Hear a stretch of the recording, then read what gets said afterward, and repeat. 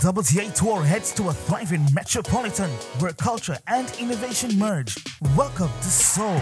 The Korea Open is a tournament steeped in tradition, but for this year's 20th edition, it will be played as a WTA 500 category. Now, more attractive than ever, the Korea Open is a must-watch event. Catch it live on Sportsmax, Sportsmax 2, and on the app. Experience Sportsmax. Download the app now.